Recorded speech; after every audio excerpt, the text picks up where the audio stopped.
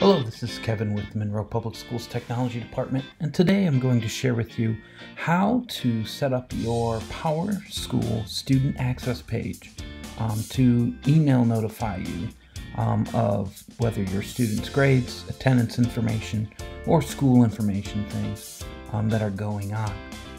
First thing you'll do is log into your PowerSchool parent portal, as you can see here on the screen we'll go to email notifications on the left.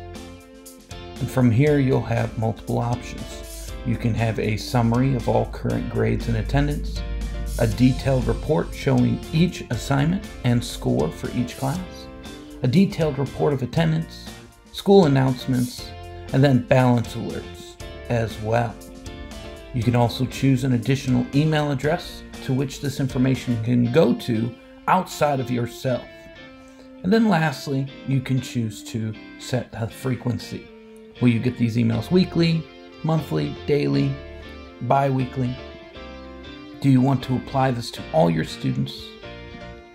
And do you want to send now to receive a copy of that report that you've chosen as of right now? Once you finish, you hit submit, and those changes will apply to your account. So in this student's instance, if I wanted to receive a summary of attendance and a school announcements and receive those monthly and apply to all my students, I can hit submit and those settings will take place.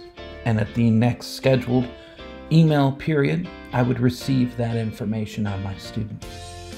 Once again, I want to thank you for going through this with us and learning about how to configure the email notifications for your student using the PowerSchool portal. Thank you.